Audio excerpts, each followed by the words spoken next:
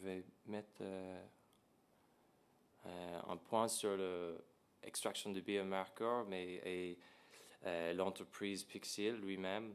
Mais je crois que le but aujourd'hui, c'est vraiment de parler des aspects innovants de nos algos et ce qu'on apporte aux, difficultés de faire l'extraction des biomarqueurs en neuroimagerie.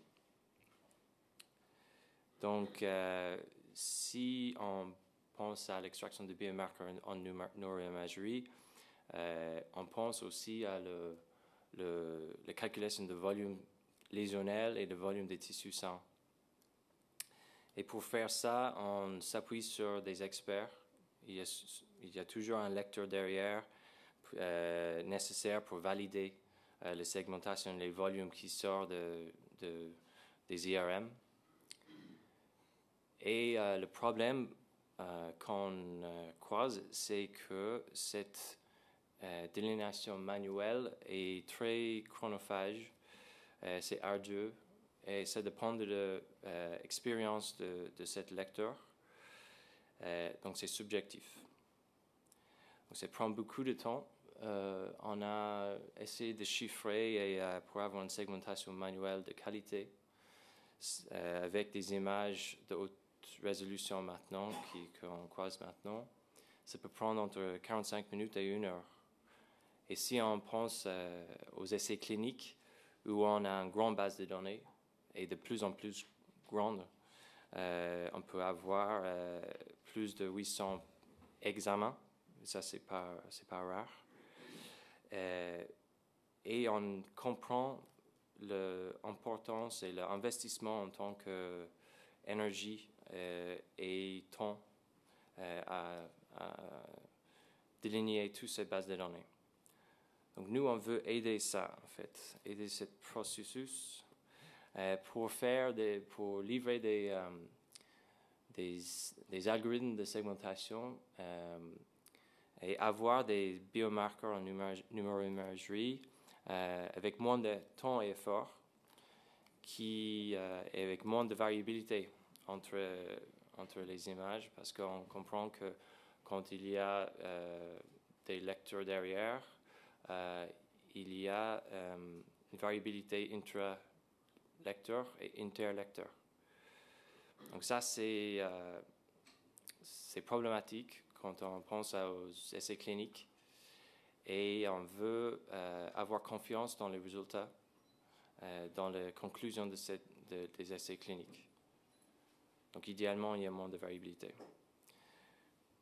Et euh, aussi, pour les aspects réglementaires, c'est important d'avoir une reproductibilité de résultats. Et nous, vu que c'est automatique et c'est objectif, on peut reproduire les mêmes résultats euh, euh, plusieurs fois. Ce qu'on propose pour faire tout ça, c'est des plugins de segmentation. Donc, des plugins qui rentrent dans des interfaces visuelles des, euh, des radiologues, des CRO, des CRO d'imagerie et c'est des plugins qui existent localement les, euh, sur un poste local ou sinon par interface web. Donc même s'il y a une plateforme web euh, euh, utilisée, on peut intégrer facilement nos, algorithmes sur cette plateforme. Donc l'idée, c'est de ne pas déranger le workflow existant, mais de rentrer là-dedans et d'aider ce processus. Et on délivre un pipeline complet c'est-à-dire qu'on fait tous les, tous les tâches là. C'est pas juste un algorithme de segmentation, mais à partir des DICOM, on peut euh, euh, faire un masquage des cerveaux, euh, corriger pour les inhomogénéités, recaler cette donnée-là vers un espace standard, et ça c'est utile pour les études longitudinales parce qu'il faut comparer des, des images des patients dans plusieurs instants de temps. De temps on utilise en fait des territoires probabilistiques pour apporter un peu euh, une connaissance spatiale a priori dans les, dans, les, dans les algos euh, et à la fin la segmentation. Donc à partir de segmentation, on peut extraire des volumes d'intérêt. Nous, on a, des algorithmes qui traitent quatre pathologies, notamment des AVC en phase subaiguë et chronique. Donc ça, c'est différent des phases aiguës parce qu'on voit l'évolution des tissus dans le temps. Et on voit deux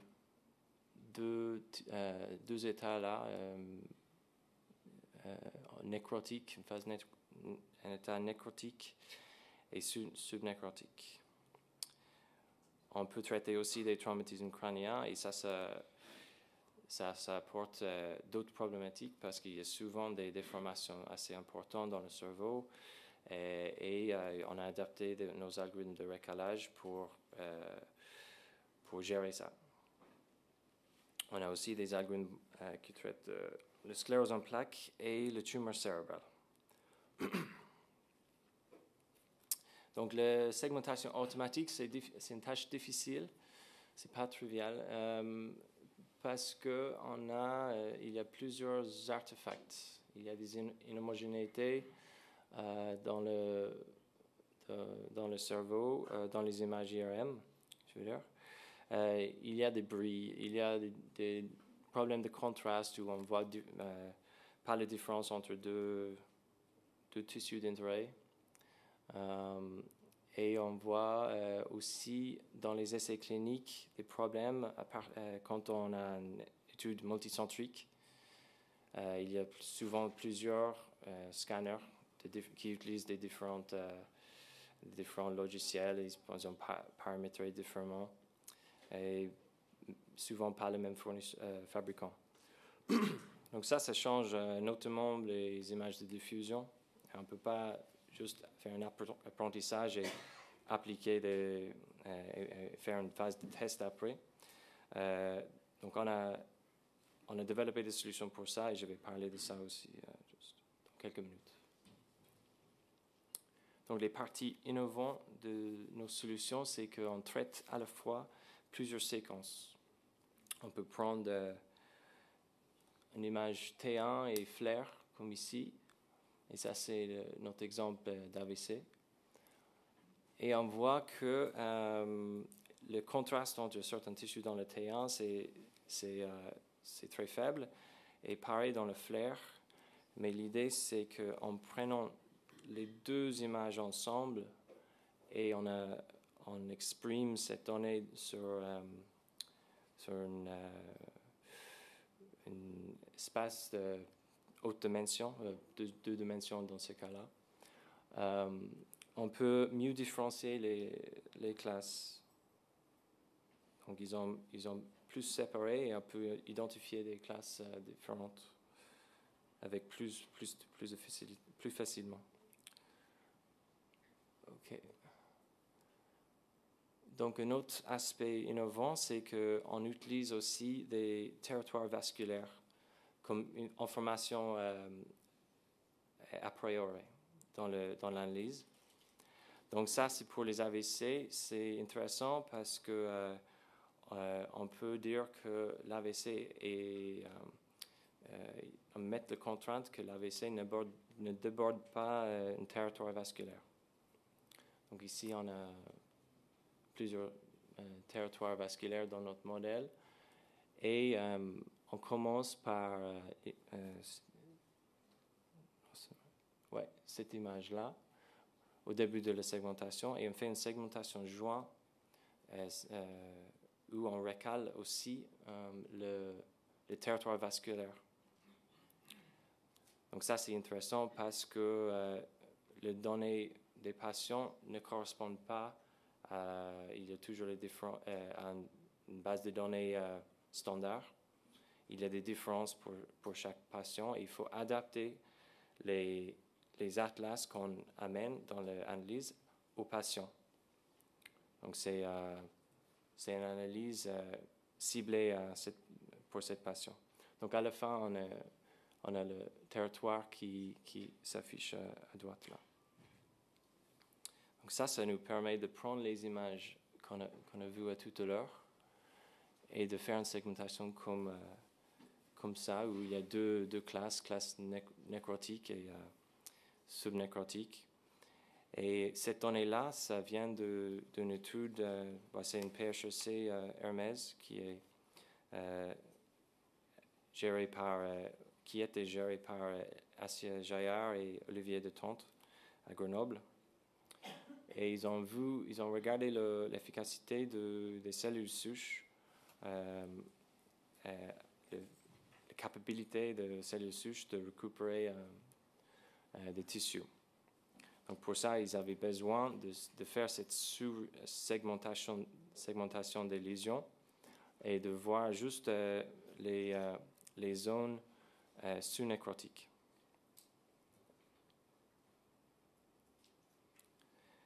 Là, on, change la pathologie, on regarde les données de trauma crânien. Et ça, c'est des, images de mine de fusivité.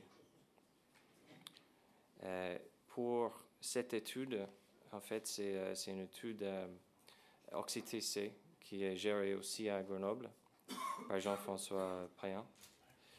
Et ces images-là, en fait, montrent qu'on a essayé de faire une, analyse standard où on fait une phase d'apprentissage et on apprend les paramètres qui modélisent les données. Et après, en appliquant ces, paramètres à une base de données test, euh, on essaie de, voir si, euh, on peut retrouver des régions anormales dans les, dans les données test. Et ça n'a pas marché. Euh, bah, le résultat n'était pas bon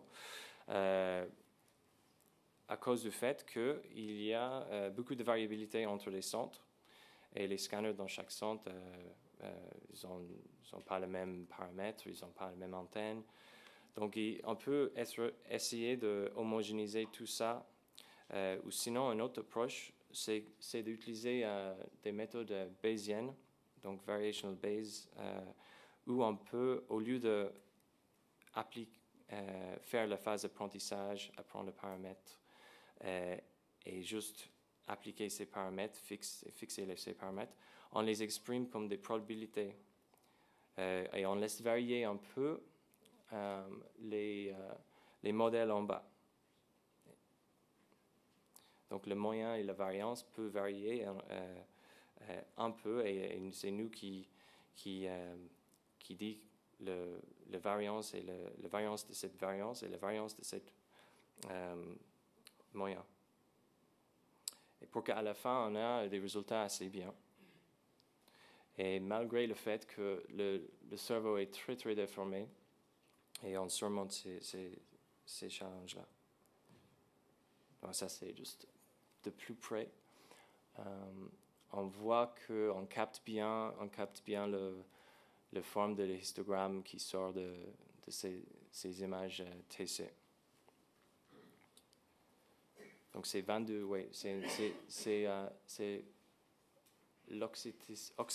l'étude OxyTC, avec 22 centres, 400 sujets. Donc, on imagine bien la variabilité euh, entre, entre les examens. Tu, pourras donner des détails d'ailleurs sur les centres et les, personnes concernées éventuellement enfin, Oui. Plus tard. oui, plus tard. Donc, euh, oui.